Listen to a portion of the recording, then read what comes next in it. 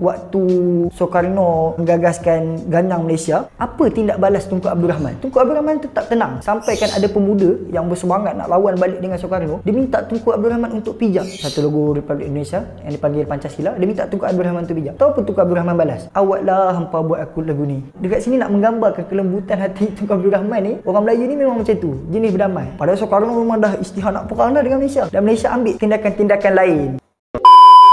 Apakah benar Malaysia kemerdekaannya adalah hasil giveaway dari Inggris ataukah hasil dari perjuangan melalui pertumpahan darah?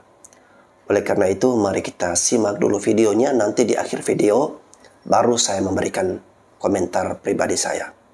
Oke, kita langsung klik videonya berikut ini. Kau biasa dengar tak kalau rata-rata lah kalau rakyat Malaysia ni bergaduh dengan penduduk Indonesia? Gaduh pasal bola ke? Kalau gamers gaduh geng PUBG bila bergaduh orang Indonesia ni suka cakap dekat kita dasar kamu Malaysia merdeka secara giveaway merdeka secara pemberian Inggeris. Itu pun mau bangga. Ha, biasa dengar tak benda ni? Waktu saya belajar di Indonesia tu waktu saya ikut latihan futsal dengan timnas pasukan universiti tengah-tengah training waktu saya duduk kat tepi tu datang seorang. Duduk dengan saya sembang lah tanya gimana Indonesia? Bagus tak sembang. Macam-macam lah sembang. Sembang sembang sembang lah sekali. Memang baik lah budak ni.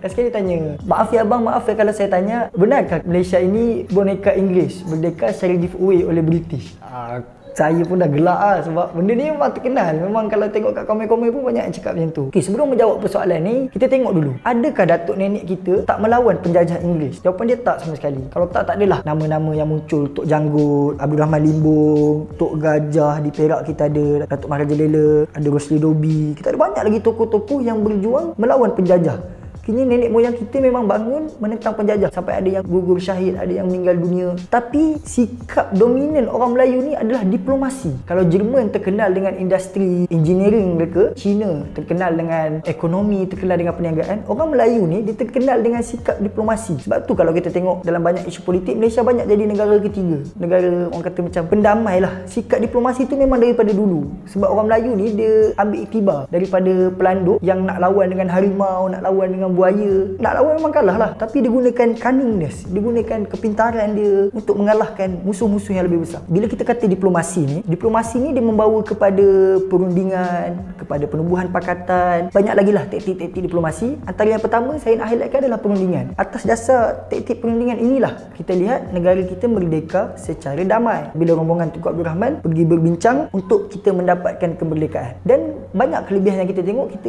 kurangnya pertumpahan darah dia mengutamakan perkara-perkara itu. Jalan damai. Tapi kita merdeka alhamdulillah kita merdeka. Kini menjaga ketahanan Melayu masih utuh institusi diraja. Kalau kita tengok di Indonesia dia orang berbangga dengan merdeka secara berlawan pertumpahan darah seperti itu. Tapi datuk nenek moyang kita hebat Adakah diplomasi ini merugikan? Jawapannya tidak. Sebab kalau kita tengok waktu Soekarno menggagaskan ganyang Malaysia, apa tindak balas Tunku Abdul Rahman? Tunku Abdul Rahman tetap tenang. Sampaikan ada pemuda yang bersemangat nak lawan balik dengan Soekarno, dia minta Tunku Abdul Rahman untuk pijak satu logo Republik Indonesia yang dipanggil Pancasila. Dia minta Tunku Abdul Rahman untuk pijak. Tahu apa Tunku Abdul Rahman balas? Awaklah hampa buat aku lagu ni. Dekat sini nak menggambarkan kelembutan hati Tunku Abdul Rahman ni, orang Melayu ni memang macam tu, jenis berdamai. Padahal Soekarno memang dah istihad nak perang dah dengan Malaysia. Dan Malaysia ambil tindakan-tindakan lain mencari pengaruh negara-negara besar dan diplomasi ini langsung tidak merugikan. Okay, selain itu Malaysia juga dilantik sebagai anggota keselamatan UN pada tahun 1965 kalau tak salah. Jadi kalau rakyat Indonesia sangat berbangga mereka merdeka bermati-matian berjuang sehingga kan kalau kita tengok orang Indonesia ni kalau sambut merdeka sangat-sangat meriah. Dia orang bangga. Kita pun rakyat Malaysia kena berbangga. Datuk nenek kita bijak datuk nenek kita pintar ambil jalan lain untuk kita merdeka jalan damai. Dan kita perlu sambut merdeka dengan semangat patriotik yang tinggi. Kalau orang bendera Malaysia tu bagi cukup bintang jangan lima bintang je. Ha, kita tanamkan patriotik dalam diri kita semangat cintakan negara bangga dengan nenek moyang kita yang berjuang menuntut kemerdekaan secara jalan diplomasi. Oke teman-teman, itu tadi kita sudah sama-sama mendengarkan bagaimana penjelasan hostnya tentang uh, dia membantah pernyataan yang beredar ya narasi-narasi yang beredar di media sosial yang menyatakan bahwa Malaysia uh, merdeka merupakan hadiah atau giveaway pemberian dari British atau dari Inggris. Tetapi saya belum menerima jawaban yang lebih terperinci, yang uh, lebih panjang atau lebih lengkap Ya memang karena untuk channel ML Studios ini rata-rata videonya itu durasinya singkat-singkat ya. Ya mungkin nanti kita bisa temukan sumber atau referensi lain. Namun di sini saya mau membantah sebuah pernyataan yang disampaikan oleh hostnya bahwa uh, kalau di Malaysia harus bangga karena para pejuangnya terdahulu menggunakan jalur diplomasi sedangkan Indonesia menggunakan jalur pertumpahan darah ya. Sebenarnya Indonesia bukan hanya jalur pertumpahan darah ya. Kita juga ada jalur diplomasi. Misalnya seperti uh, perjanjian Linggarjati, perjanjian Renville, konferensi meja bundar, Den Haag dan sebagainya. Itu semua adalah jalur-jalur yang diupayakan uh, kita lakukan untuk uh, berdiplomasi dengan cara damai. Namun upaya diplomasi tersebut tidak menemukan titik temu karena bangsa penjajah uh, memberikan perjanjian atau hasil dari perjanjian itu itu merugikan bangsa Indonesia itu sendiri. Sehingga dari Indonesia tidak bisa menerima. Wilayah-wilayah yang mencakup Indonesia itu hanya setengah atau hanya sedikit ya. Tidak mencakup dari Sabang sampai Merauke.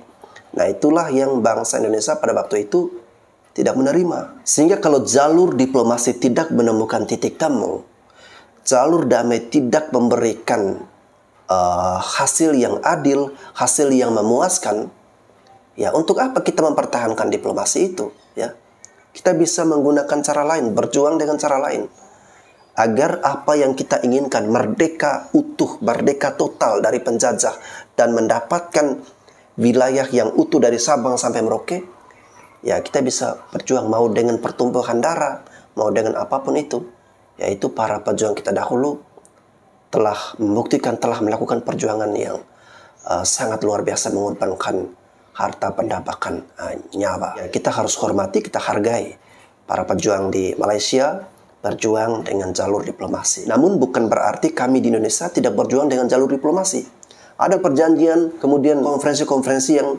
dilakukan oleh uh, tokoh-tokoh perjuangan kita ya. Itu semua kita menggunakan cara cerdas juga. Hanya saja perjanjian ataupun konferensi tersebut merugikan bangsa Indonesia, tidak memuaskan rakyat. Sehingga akhirnya uh, selain jalur diplomasi kita juga menggunakan jalur peperangan, pertumpahan darah, merebut kemerdekaan dengan gagah berani, dengan perjuangan titik penghabisan darah terakhir ya. Oleh karena itu ya kita sebagai bangsa Indonesia bersyukur, berterima kasih dan bangga menjadi bangsa Indonesia. Sebaliknya Malaysia juga bangga karena menggunakan uh, jalur diplomasi. Ya mereka juga harus bangga dengan uh, perjuangan dari para leluhur ataupun para pahlawan-pahlawan mereka. Oke teman-teman, saya rasa sekian uh, videonya. Saya Bastian Sebo, sekian dan terima kasih.